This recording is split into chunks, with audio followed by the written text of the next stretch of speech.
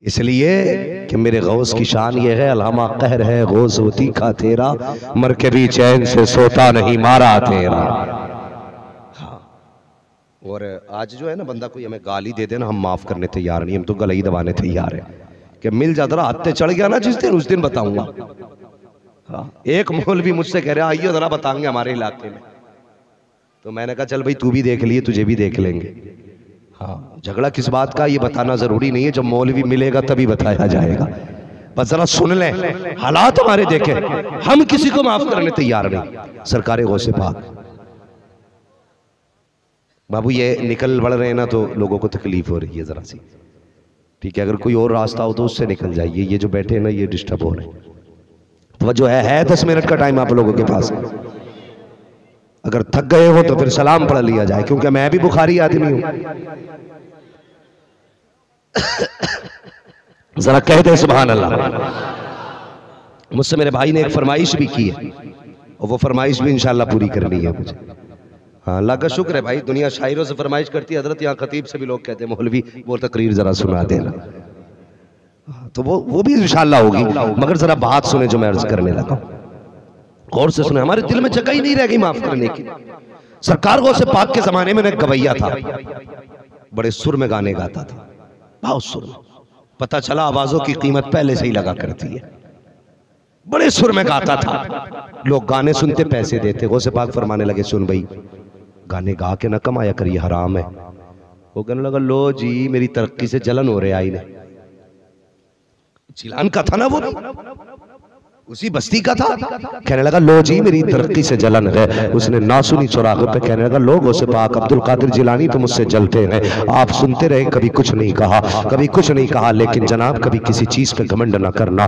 دولت ہے تو ہمیشہ کے لیے نہیں ہے، جوانی ہے تو ہمیشہ کے لیے نہیں ہے، گلے کے سر ہے تو ہمیشہ کے لیے نہیں ہے، تقریر کا فن ہے تو ہمیشہ کے لیے نہیں ہے، سینے کی طاقت ہے تو ہمیشہ کے لیے نہیں ہے۔ جب تک اس نے دی ہے تب تک ہے، وہ جب چاہے گا اس دن گرا دے گا، اور جب وہ گرا دے گا، کوئی مائی کلا کلال اٹھا نہیں سکتا ہے اور جب وہ اٹھانے پہ آتا ہے تو کوئی گرا نہیں سکتا ہے۔ آپ فرمانے لگے، گانے نہ گایا کر۔ اس نے کہا، لو جی یہ تو چڑھنے لگے ہیں۔ وہ بڑے شوق سے گانے گاتا رہا۔ لیکن یاد رکھی ہر چیز کا ایک وقت ہوتا ہے۔ ہر کمال را زوال ہر کمال کا ایک زوال ہے۔ ہر بلندی کے لیے ایک زوال آتا ہے۔ ایک دن ایسا بھی آیا، عمر ڈھلنے لگی، گلا بیٹھنے لگا۔ اب آواز کام چھوڑ گئی۔ لوگوں نے بلانا چھوڑ لیا۔ کمائی بند ہو گئی۔ بچوں نے کمائی کے لیے بلانا بند کر دیا۔ جب گھر میں رکھنا بند کر دیا۔ اس نے کمائی دینی بند کی، بچوں نے خرچہ دینا بند کر دیا۔ جب بچوں نے خرچہ دینا بند کیا تر بدر کی ٹھوکرے کھاتا رہا۔ بیمار پڑ گیا، موت کے قریب آیا۔ اس نے سوچا، لوگ اتنی نفرت کرتے ہیں۔ پتا چل گیا، یہ پوری زندگی کو سے پاک کو گالی دیتا رہا ہے۔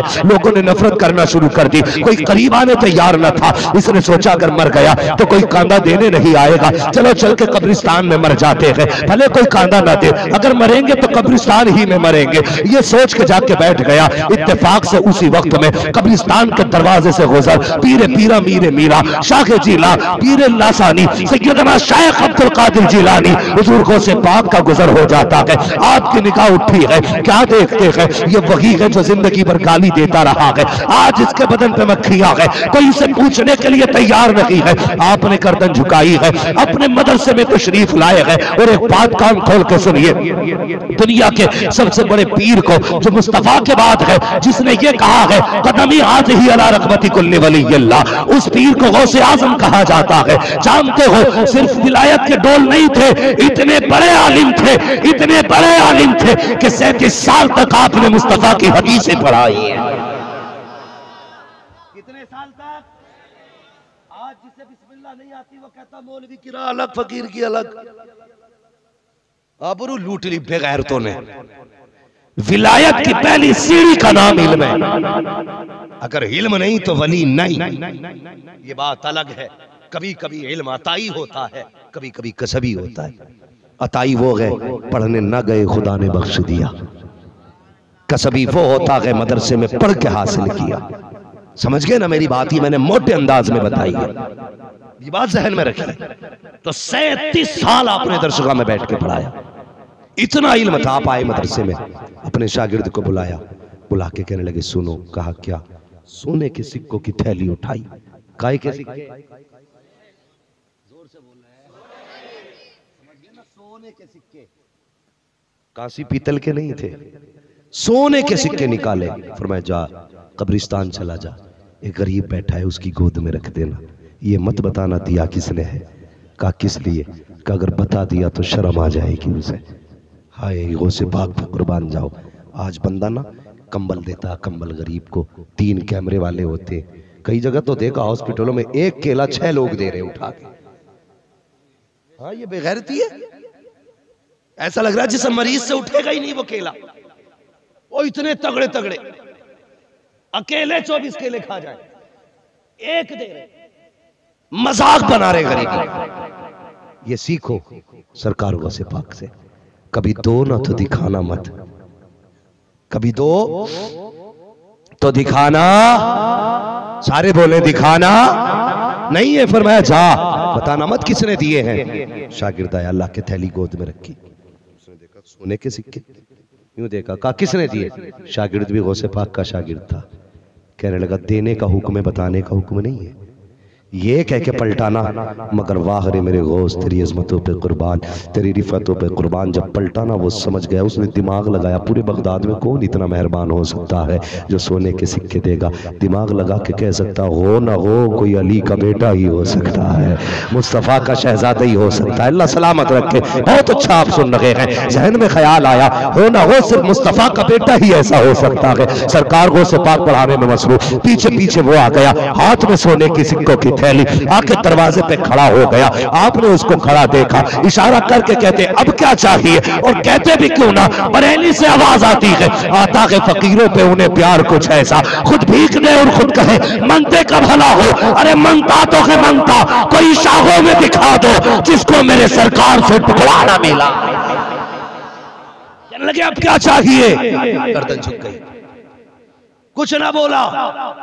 گردن جھک گئی جب گردن جھکی، آپ نے فرمایا، کیا ہوا؟ اشارہ کر کے بلایا۔ کہتا، جناب، یہ آپ ہی نے دیا ہے۔ فرمایا ہاں اس نے کہا، بس پھر چیخ نکلی۔ رو کے کہتا غوث پاک معاف کر دیجیے۔ میں ہی ہوں وہ اور آپ ہی ہے وہ جسے زندگی بھر سمجھاتے رہے۔ لیکن میں نے آپ کی بات نہ مانی۔ آج اپنی زندگی کا نتیجہ میں نے اپنی آنکھوں سے دیکھ لیا ہے۔ لوگوں نے نظر انداز کر کے، مجھے ذلیل کر کے پھینک دیا ہے۔ آج کوئی سینے سے لگانے والا نہ تھا۔ فاطمہ کے شہزادے تو نے سینے سے لگایا ہے۔ علی کے دلارے تو نے اپنایا ہے۔ کہتے جناب، ایک بات بتاؤ۔ کہا، کون سی بات؟ کہا، کیا آج توبہ کروں؟ تو خدا معاف کر دے گا؟ کیا بخشا جا سکتا ہوں؟ وہ سے پاک مسکراتے ہیں۔ فرماتے جا غسل کر کے آ۔ کہا، کیا ملے گا؟ کہتے تو آ، غسل کرنا تیرا کام ہے۔ توبہ کرانا میرا کام ہے۔ جب گیا، غسل کر کے آیا۔ وہ سے پاک نے ہاتھ میں ہاتھ لیا۔ کہتے یا اللہ، اب یہ میرا ہو گیا ہے۔ تو اس کا ہو جا۔ ہاتھ بات میں ہٹا تھا۔ خدا نے ولایت کی ڈگری پہلے عطا فرما دی۔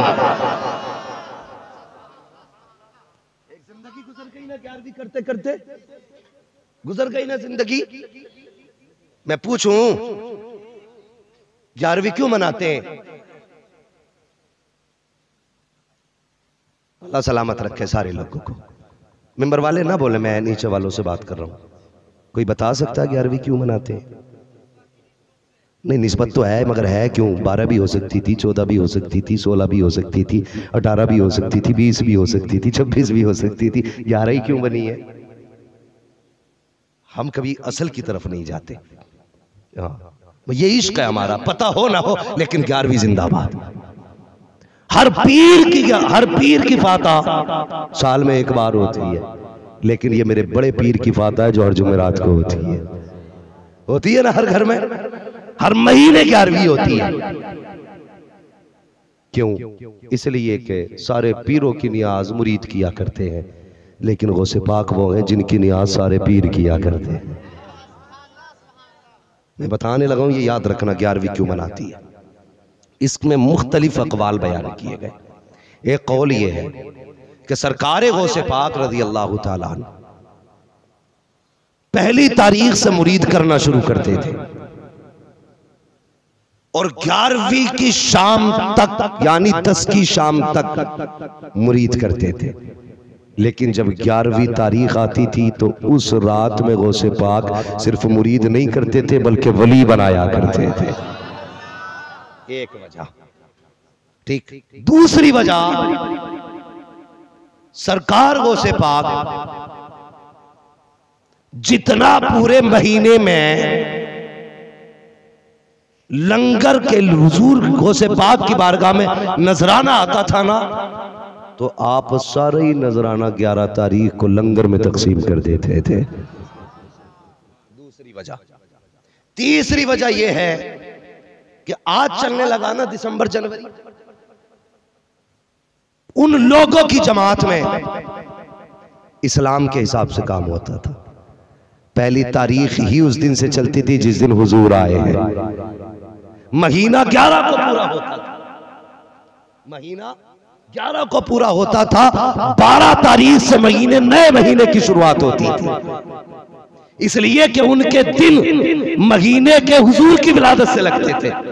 تو فرماتے ہیں، جب ولادت کا دن آتا تھا، تو غوث پاک مصطفیٰ کے نام کا لنگر کیا کرتے تھے، لنگر کیا کرتے تھے۔ چوتھی وجہ بتانے لگا ہو ایک دن ایسا ہوا، ہر پارہ کو غوث پاک لنگر کرتے تھے، لیکن ایک دن ایسا بھی آیا، غوث پاک کے پاس لنگر کرنے کے لیے کچھ بھی نہ تھا۔ جب کچھ نہ ہوا، لوگ کہنے لگے، حضور، آج کوئی چہل پہل لگی ہے، کیا حضور کے نام کا لنگر نہیں ہوگا؟ کیا حضور کے نام کی خیرات نہیں لٹائی جائے گی؟ کہتے، آج کچھ بھی تو نہیں ہے، جب اتنا کہا، کچھ بھی نہیں ہے خیال آیا، عبدالقادر تیرا امامہ بھی تو ستر ہزار کا ہے، کوئی آمہ ماما نہیں ہے۔ آپ نے شاگرد کو بلایا، فرمایا، لے، میرا امامہ بازار لے کے چلا جا اور دامن میں چھپا کے لے کے جانا۔ اسے بیچ کے پیسے لا۔ کیا کرو گے؟ کہا حضور کا لنگر کرنا ہے۔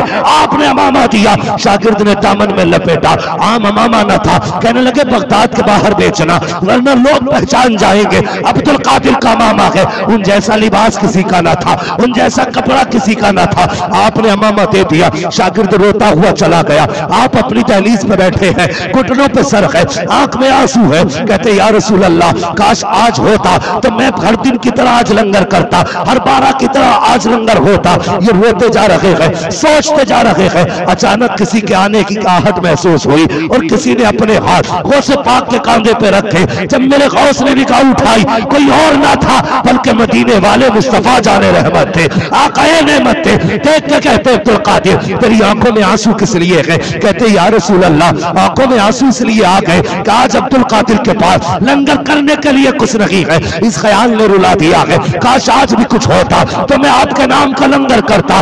آقا فرماتے ہیں عبدالقادر امامے کا کیا ہوا؟ سرکار جانتے تھے ہوا کیا ہے، لیکن پوچھ رہے ہیں عبدالقادر امامہ کہاں ہے؟ کہتے آقا، وہ میں نے بیچ دیا ہے، کس لیے بیچا ہے؟ تاکہ آپ کی باروی ہو بنائی جائے۔ آقا کہ کہتے ہیں عبدالقادر امامہ کیوں بیچا باروی تو آگے بھی ہو جاتی۔ کہتے ہیں، یا رسول اللہ، یہ آپ کی باروی ہے۔ اگر اس کو منانے کے لیے خود کو بھی بیچنا پڑا، اپنے آپ کو بھی بیچ دوں گا، لیکن لنگر بند نہ کیا جائے گا۔ آقا نے سینے سے لگایا، فرمایا عبدالقادر ہم سے اتنا پیار کرتا ہے تو لے، اعلان کرتے ہیں۔ اب تک تو ہماری گیارہ مناتا رہا، اب قیامت تک تیری گیارہ منائی جاتی رہے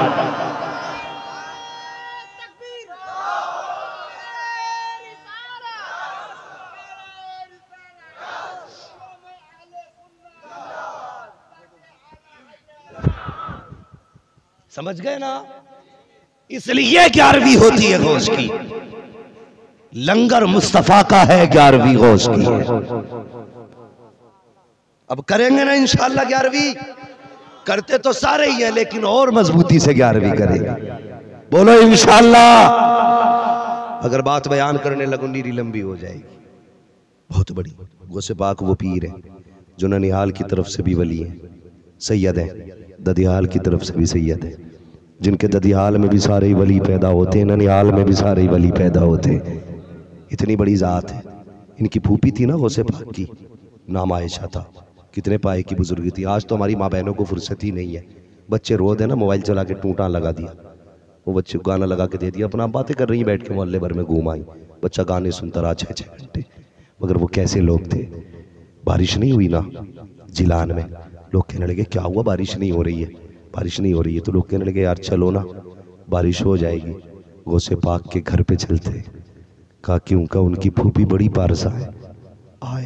کہنے لگے، سیدہ، بارش نہیں ہو رہی ہے۔ کہتی ہیں، سوکھ گئی جانور پیاسے مرنے لگے۔ دعا کر دیں، اللہ بارش کر دے۔ آپ نے جھاڑی اٹھائی، پورے گھر میں جھاڑو لگا دی۔ اور آسمان کی طرف دیکھ کے کہنے لگے، یا اللہ، جھاڑو میں نے لگا دیے، چھڑکاؤ تو کر دے۔ اتنا کہنے کی دیر تھی پورے بغداد میں بارش بارش ہو رہی تھی۔ یہ گھرانہ ہے میرے غوث کا۔ یہ گھرانہ اور پھر آپ کا تو کمال ہی کیا ہے۔ قسم خدا کی پوری زندگی غوث پاک کو پڑھتے جائیے، سمجھ میں ہی نہیں آئے گی۔ آتے ہی نہیں سمجھ میں ہے کیا غوث پاک؟ سوچئے تو صحیح۔ سوچئے، کتنی پاور اللہ نے غوث پاک کو دی ہے؟ کتنی پاور؟ باپ کا انتقال ہوا ماں لے کے پہنچ گئی نانا کے پاس۔ عبداللہ سمئی کے پاس۔ لو، لال میں رائے پرورش کرو۔ آپ پرورش کرنے لگے۔ پائے کہ بزرگ عبداللہ سمئی گھر کے اندر تھے۔ خاتون آئی، بچہ لے کے حضور۔ ہے بیمار ہے، اکلوتا ہے، دعا کر دیں۔ شفا مل جائے۔ آپ نے یوں دیکھا۔ کس نے؟ نانا نے۔ کس نے؟ نانا نے عبداللہ سمئی نے یوں دیکھا۔ کہنے لگے، لے جا، اس کی زندگی نہیں، ختم ہو گئی۔ اب اس کو موت آنے والی ہے۔ اتنا کہا، ہچ کے لیے بنچا ختم۔ عورت کا اکلوتا بیٹا تھا، چیخ نکل گئی، واپس جانے لگی۔ جاتے جاتے نہ روتے ہوئے غوث پاک نے دیکھا، فرمایا، اب ماں، کیا بات ہے؟ آج تک تو کوئی روتا ہوا گیا نہیں، تو کیوں رو رہی ہے؟ اس نے بات بتائی، کہنے لگی، میں گئی تھی تمہارے نانا کے پاس، لیکن کیا بتاؤں؟ انہوں نے کہہ دیا، بچے کی لوہے محفوظ پہ ہی زندگی نہیں ہے۔ آپ نے یوں دیکھا۔ کہنے لگے، وہ کہہ رہے ہیں، نہیں ہے دیکھ تیری گود میں بچہ کھیل رہا ہے۔ ماں نے بچے کے چہرے سے دوپٹہ ہٹایا نا بچہ مسکرا رہا تھا۔ اور لے کے اندر گئی عبداللہ سومئی کے پاس۔ کہنے لگی، جناب، تم نے تو کہا تھا میرے بیٹے کی لوہے محفوظ پہ بھی زندگی ختم ہو گئی ہے۔ یہ تو زندہ ہے۔ آپ نے غور کیا، یہ کیسے ہو سکتا؟ خیال آیا۔ ہو نہ ہو، یہ میرے عبد القادر کا کمال ہوگا۔ عبد القادر کا کمال ہوگا۔ لاٹھی اٹھائی، باہر نکلے۔ دیکھا بچوں کے ساتھ کھیل لگے۔ کہتے، رک جا عبد القادر ابھی تیرا علاج کرتا ہوں۔ اتنا کہہ کے بھاگ لگا دی۔ وہ سے پاک آگے آگے۔ نانا پیچھے پیچھے۔ کہتے، رک، ابھی تو ملے گا۔ ابھی تیرا علاج کروں گا۔ بھاگ بھاگتے جا رہے تھے۔ قبرستان بیچ میں آ گیا۔ کہنے لگے، نانا سے بچاؤ لوگو اتنا کہا ہے۔ مردے قبروں سے نکل کے آ گئے۔ گھیرا بنا لیا۔ کہ القادر تک نہیں جا سکتے۔ دیکھ عبداللہ سنائی نے عجیب معاملہ ہے۔ اردوں نے مردوں نے راستہ روکا ہے۔ کہتے، عبد القادر ٹھہر جا۔ میں جانتا ہوں، تیری شان بڑی ہے، لیکن مردوں کے راز راز رہنے دے۔ اللہ اکبر۔ ایک آواز دی کہا نانا سے بچاؤ تو مردے ہی اٹھ کے کھڑے ہو گئے۔ معاملہ غوث پاک کا تھا، کھڑے کیوں نہ ہوتے؟ کھڑے ہو گئے، لائن بنا کے، گھیرا بنا کے۔ نانا نے کیا کہا عبد القادر، شان بڑی ہے۔ لیکن بیٹے، جب مرنے والوں کے اللہ نے راز راز رکھے تو تو کیوں کھول رہا ہے؟ وہ تو جس حال میں تھا ویسے ہی نکلا نا۔ تو کہتے، بھیج۔ فرمایا، جاؤ، چلے جاؤ۔ تو جو جہاں سے آیا تھا وہیں چلا گیا۔ کیسے سمجھو گے غوث پاک کو؟ مگر جانتے ہو، فرماتے میں نے مجاہدے ایسے ایسے بھی کیے ہیں۔ میں پڑھتا تھا نا، اللہ سلامت رکھے قرآن پڑھنے والوں دین سیکھنے والوں بڑے نصیب والے ہو جو خدا نے یہ موقع دیا ہے۔ باپ دیے ہیں، زندگی دی ہے، مدرسہ دیا ہے، استاد دیے ہیں۔ غوث پاک نے کس مصیبت سے علم سیکھا؟ فرماتے ہیں، اتنی بھوک ہو جاتی تھی کبھی کبھی کہ میں جب پڑھ رہا تھا نا تو بے ہوش ہو جاتا تھا اور ایسی حالت ہو جاتی تھی کہ لوگ مردہ سمجھ کے غسل دینے کے لیے لے کے جایا کرتے تھے۔ کہتے یہ کنڈیشن ہو جاتی تھی، لیکن کہتے ہیں مجھے بھوک کبھی اتنی بھی بڑھ جاتی تھی، اتنی بڑھ جاتی تھی بھوک کہ لوگ اپنے منہ میں لقمہ لے کے جاتے تھے۔ میرا منہ کھل جایا کرتا تھا۔ یہ عالم ہوتی تھی بھوک کی۔ کہتے میں نے سب کچھ برداشت کیا، لیکن مصطفیٰ کا دین نہیں چھوڑا ہے۔ کہتے درست العلم، حد صرف قطبہ، حتی صرف قطبہ۔ میں نے اتنا پڑھا اتنا پڑھا کہ خدا نے قطبی قطبیت کی ڈگری دے دی اور فرماتے لوگوں، وہ اور ہوں گے جن کی حکومت زمین پہ چلتی ہے۔ عبد القادر وہ ہے جس کی حکومت زمین پہ بھی چلتی ہے، زمینوں کے نیچے بھی چلا کر اور فرمایا کرتے، میرا نام لینے والا کبھی ذلیل نہیں ہوگا، کبھی رسوا نہیں ہوگا۔ لوگ کہتے، یار، یہ عبارتیں روایتیں کہاں سے بیان کرتا ہے؟ اتنی شان۔ میں کہتا ہوں، پڑھنا غوث پاک کو، صرف بارہ ہی تقریروں میں غوث پاک توڑی ہے پڑھا کرو، وہ سے پاک کی سیرت پڑھی ہے۔ خدا کی قسم سمجھ میں ہی نہیں آتا۔ وہ سے پاک کا رتبہ کیا ہے؟ رتبہ کیا ہے؟ اللہ اکبر، یہ غوث ہے مصطفیٰ کے شہزادے۔ پوری زندگی حضور کے دین کی خدمت کی۔ پوری زندگی۔ اور پھر آؤ، اللہ کا شکر ہے۔ مقدر والے نہیں، مقدر والے نہیں، رسول ملا رسول اعظم۔ شہید ملا شہید اعظم۔ ہے کہ نہیں؟ پیر ملا تو غوث اعظم۔ اور خواجہ ملا ہے تو غریب نواز ملا ہے۔ غریب نواز ملا ہے میں بات ختم کرنے لگا ہوں ابھی تھکے تو نہیں ہے ذرا پیچھے والے بھی کہتے ہیں رسول اللہ۔ ہاں ماشاءاللہ بھی وقت ہے نا جی؟ حضرت۔ ہاں جی۔ نہیں نہیں یہ وقت جاننا ضروری رہتا ہے۔ طبیعت سے بول دوں میں؟ طبیعت تو دکھاتا اگر میں ٹھیک ہوتا۔ لیکن آج بھی میں نہیں بول رہا ہوں بغداد والے کا کرم بول رہا ہے۔ کرم بول رہا ہے۔ بندہ بخار آ کے ڈاکٹر سے یہ نہیں کہہ پاتا کہاں درد کہتا یہ ہو رہا ہے ایسے ایسے کرتا ہے، یہ ہو رہا ہے درد ڈاکٹر کو نہیں بنا پاتا یہ ڈیڑھ گھنٹے کی منزل طے ہو گئی پتہ ہی نہیں چلا ہے۔ یہ کرم کس کا ہے میرے؟ سبحان اللہ اور زور سے میرے۔ سے پاک کا حضور کی اولاد کا تو ٹھکانہ ہی نہیں اور جواب ہی نہیں۔ جس بیٹے کو دیکھو نرالا ہے۔ جس بیٹے کو دیکھو نرالا ہے۔ قسم خدا کی، اگر غوث کا بھی جواب نہیں تو جواب اجمیر والے بابا کا بھی نہیں ہے۔ اجمیر والے بابا کا بھی جواب نہیں ہے۔ ہاں سنو، کون اجمیر والے بابا؟ لوگ کہتے ہیں جی گھر واپسی کرو۔ میں کہتا، کر تو لیں گے، پہلے گھر بتا کدھر ہے۔ گھر واپسی کا مطلب کیا؟ گھر تو پھر جنت ہے۔ وہاں جائیں گے نا، ہم تو آدم کی اولاد ہے تو ہمارا گھر تو ادھر ہی ہے، پھر ادھر ہی کہاں سے آ گیا بھائی؟ یہ کل بھی بھارت ہمارا تھا۔ آج بھی ہمارا ہے۔ کل بھی ہمارا ہی رہے گا۔ ہم نے اس کے لیے قربانی دی ہے کوئی چھولے نہیں بیچے یہاں پہ۔ پکوڑے بیچ کے بھارت نہیں بنایا۔ ہم نے اپنے بزرگوں کے سر دیے۔ اشفاق اللہ خان جیسا جوان دیا ہے۔ ہاں ہم نے اس زمین کو، اب دیکھو تو بڑے بڑے عاشق زمین کو دیے ہیں۔ تب جا کے ہم نے دیش آزاد کرایا ہے۔ کل بھی ہمارا تھا بھارت آج بھی ہمارا ہے۔ کل بھی تم دشمن تھے، آج بھی۔ ہاں، نہ ہم کل ڈرے تھے، نہ آج ڈرے۔ محبت سے مانگو تو جان دے دیں گے۔ اگر حق کی بنیاد پہ آئے تو ایک انچ نہیں دیں گے۔ پورا بھارت ہمارا ہے۔ بولو، ہے کہ نہیں؟ میں نے تو ایک بار کہا تھا، لوگ کہتے ہیں آتنکوادی مسلمان ہوتے میں نے کہا کھڑا کر ذرا۔ سیما پہ سارے مسلمان کھڑا کر دے۔ چوہا کا بچہ پر مار جائے تو نام بدل دینا کھڑے تو کرو نا، یہ نفرت ہے کیوں؟ بھارت سب کا ہے تو پھر ہمارا بھی ہے کہ نہیں؟ بھارت کے سسکتے ہوئے۔ کہتے، وہ کہا تھا نہیں، کہتے ہیں یہ بھارت کے سسکتے ہوئے منظر۔ خواجہ پیا کے خواب کی تعبیر نہیں ہے۔ ہر دھرم کے لوگوں کا یہاں حق ہے برابر۔ بھارت کسی کے باپ کی جاگیر نہیں ہے۔ اسی بھارت کی تاریخ بیان کرنے لگا ہوں۔ آئے تھے ہمارے خواجہ۔ فوج لے کے آئے تھے۔ بولو۔ فوج لے کے آئے تھے، توپ لے کے آئے تھے، تلوار لے کے آئے تھے، تیر کمان، کچھ بھی نہیں، ایک ہاتھ میں قرآن مصطفیٰ، دوسرے ہاتھ میں نظام مصطفیٰ۔ یہ دو چیز ہے اور ایک بات تمہیں بتا دوں، ہماری نمازوں سے کافر مسلمان نہیں ہوں گے۔ ہمارے روزے دیکھ کر کے ان کے دل میں ایمان کی محبت نہیں جاگے گی۔ ہمارے حج دیکھ کے ان سے کو ایمان سے پیار نہیں ہوگا۔ ہماری زکاة دیکھ کے پیار نہیں ہوگا۔ البتہ ہمارا اخلاق دیکھ کے ایمان سے پیار ہو جائے گا۔ یہی سب سے بڑی تلوار تھی اور یہ سب سے بڑی پاور تھی غریب نواز لے کے آئے تھے قربان جاؤ غریب نواز کی عظمتوں پر۔ اللہ اکبر، کون غریب نواز؟ آج تو لوگ پارٹیاں بنا لیتے کہتے نہیں جی اسے رکشے میں مت بیٹھانا، اس کی دکان سے کچھ مت لینا، اس سے سبزی مت خریدنا، اس کا کپڑا مت لینا۔ یہ آج تمہارا دور ہے، کل ہمارا دور تھا۔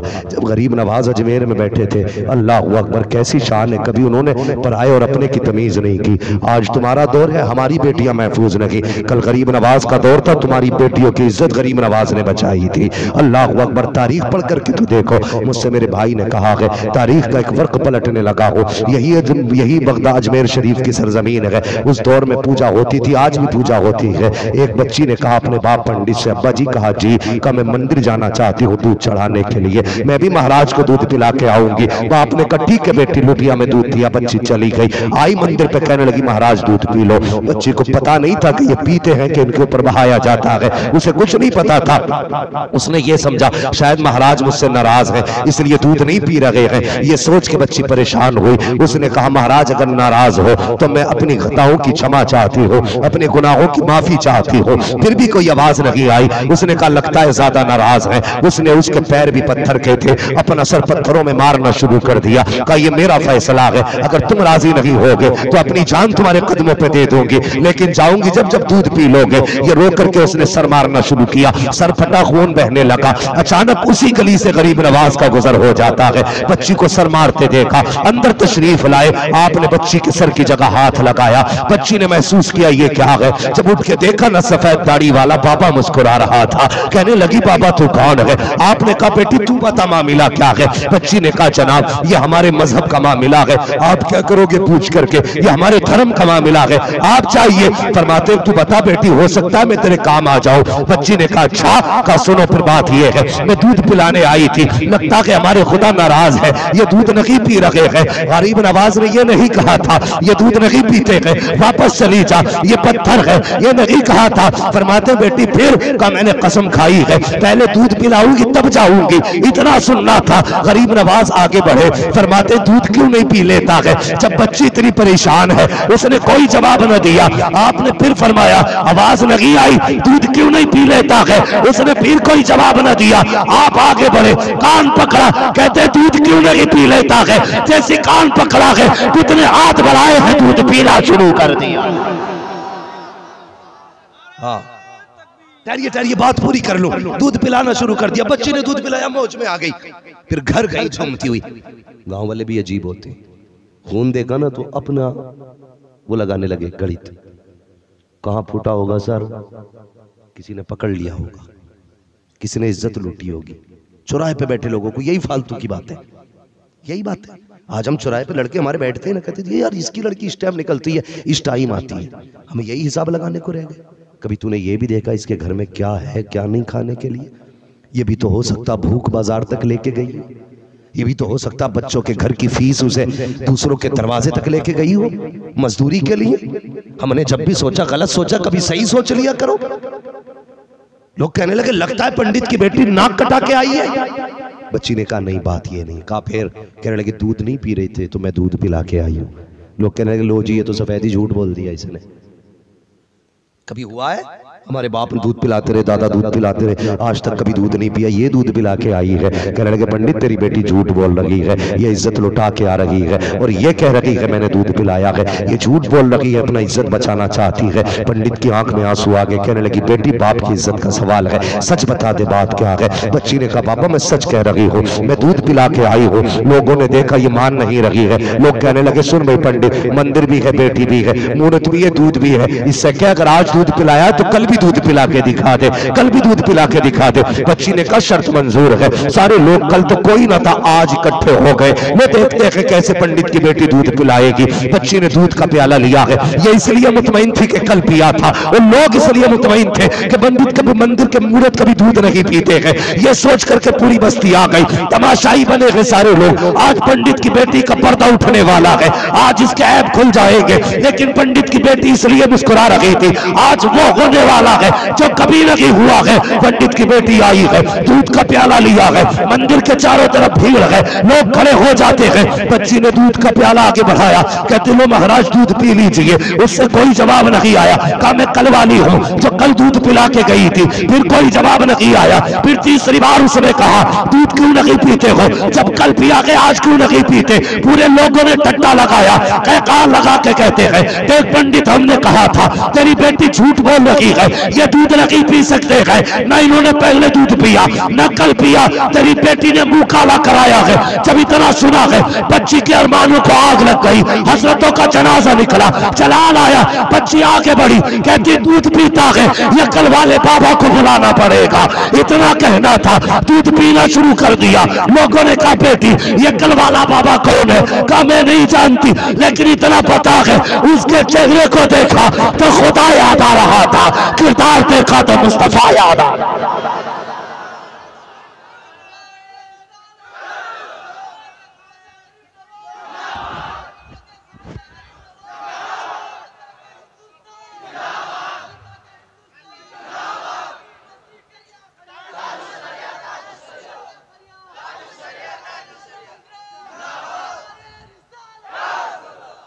اللہ اکبر یہ اخلاق تھا۔ کہا، بیٹی بیٹی ہوتی ہے. لوگ کہنے لگے جی کدھر گئے بچی نے؟ کہا بس ادھر ہی گئے سب لوگوں نے چھوڑا، سامان باغ لگا دی۔ ایک پیڑ کے نیچے میرا غریب نواز بیٹھا ہے۔ اور اپنے رب کی عبادت میں مصروف لوگ جا کے کہنے لگے بھگوان ہو کہنے لگے، نہیں. کہنے لگے، پھر پتھر کیوں بولا؟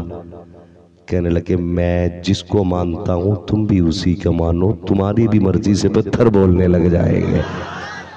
کہا وہ کون ہے؟ فرمانے لگے، وہ وہ ہے جس نے سورج چاند بنائے، جس نے مجھے بنایا۔ لوگ کہنے لگے، پھر دیر کس بات کی؟ ہاتھ بڑھائیے کلمہ پڑھا کے ہمیں بھی اپنا بنا لیجیے۔